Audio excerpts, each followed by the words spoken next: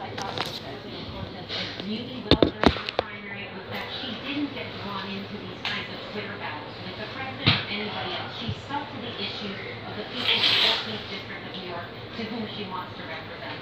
And that was, I thought, a really good practice on her part. And so I was a little, little disappointed that she responded to this at all, because I see this as a publicity on the of Venture Bureau, and I know you want to talk about the but the idea that is, was, was, was, you know, I know he pulled it back and that was going to be charity, is that really uncomfortable to me?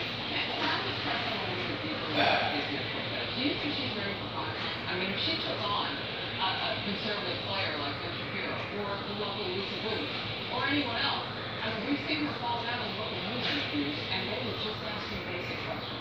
Yeah, you know, she